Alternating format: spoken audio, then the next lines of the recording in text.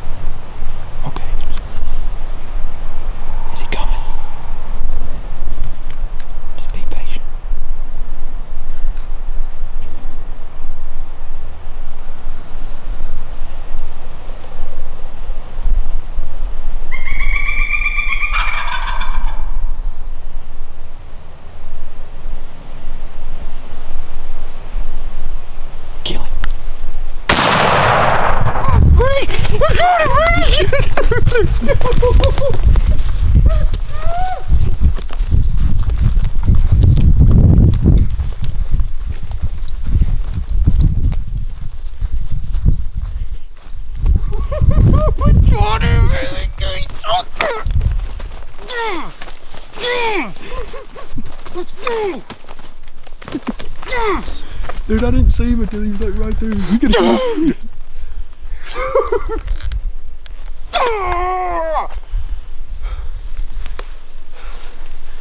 Dude, look at the spurs on that turkey.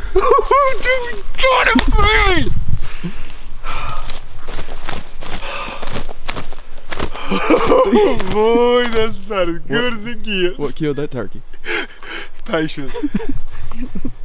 boy, look at them hooks. Oh boy, I've been on you for two days. Hey, did, did so you seen him? He came quick. I saw him right there. we had to have been super close to him. Oh, dude, he was roosted right in here. He never gobbled on the roost. Not one oh, time. not one time. Dude, you hear his rattle in his chest when he gobbled right here? Well, I heard him drumming, but I couldn't.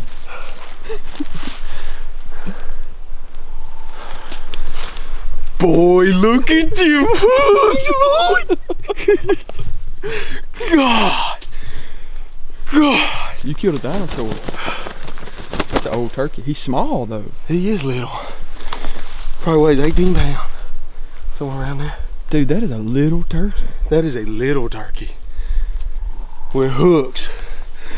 With hooks, baby. What them hooks do? oh, boy, give me some.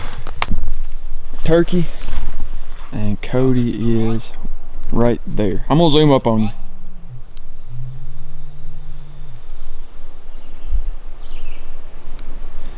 He never had a clue. Uh, You can't see my chair, but see how hidden Cody is.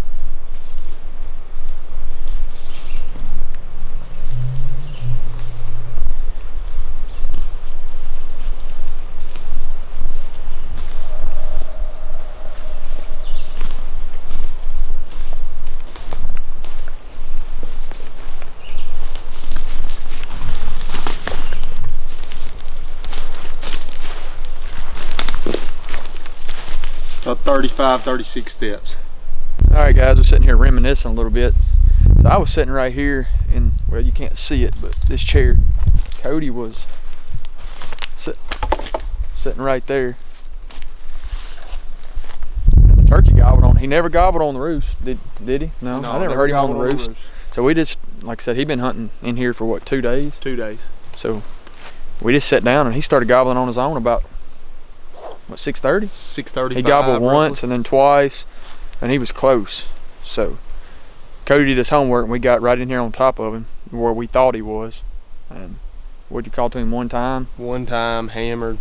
Then we had a little bird go off and hammered, and boy, we heard that rattling in his chest. And I was like, "Ooh, he's close." I, he was game. I ditched. I had my tripod, but I ditched it and put it on put it on my hand. You know, just in my hand, like. And uh, Cody was saying he seen him, and I couldn't. I couldn't quite see him yet. Man, down down here in these Mississippi woods, it's thick. You know, you you can see the the undergrowth. A lot of these times in the woods, they'll come through this national forest and and burn. You know, to keep to keep that undergrowth down. But today it, it, it led to our advantage because this turkey, he, I mean, he was so close, he he just couldn't see. So he had to come to where he could see.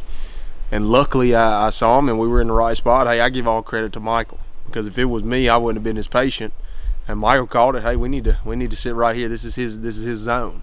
So we sat down, got comfortable, took our time, stayed patient, and I'll be dang if ten minutes later Called he, to him he, one time, and that's and he and gobbled on his own that one time to some geese out here on the lake behind us, and we I thought he was over there. Michael thought he was in the opposite direction.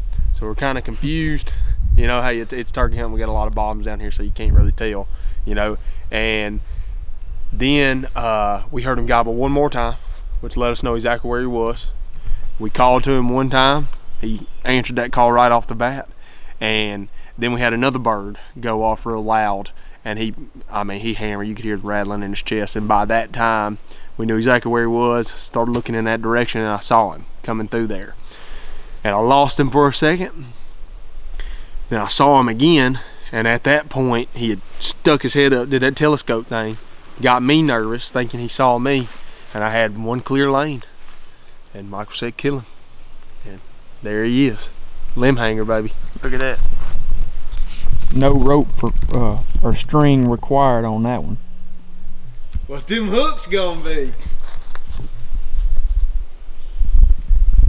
Anyway, so it was like a, about a 35 yard shot, right? Yeah, about 35 yards.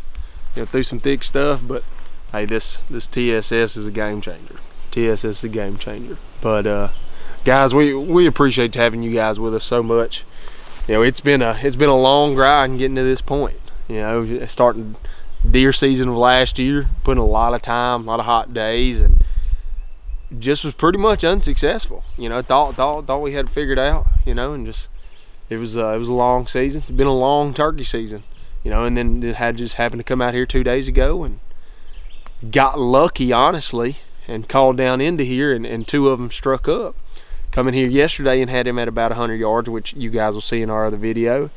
And then today, you know, hey, three strikes, you're out, Joker. And that's why he's hanging on that limb. But uh, guys, give us a like, subscribe to us. We are new. Look, we're trying to grow. We want to keep bringing this stuff to you guys. We hunt hard, and, and we want you guys to be able to enjoy this and, and do what we do. And hey, what we're doing right now, anybody can come out here and do this. I mean, this is all public land. This is tens of thousands of acres for anybody to come out here and enjoy and do this. So take advantage of it. Get some free time, go out in the woods, go hunting. I promise you it'll help that soul and make you a lot happier. And hey, maybe you come out here and, and get one of them limb hangers. Well, I'm stoked. Okay, I couldn't be more happy right now. I just want to run around this bottom, boy. All right. we clocking out. We'll see y'all in the next one. Thank you for watching. What a morning, guys. Just gotta, you know, this uh, experiences like this in the woods for me.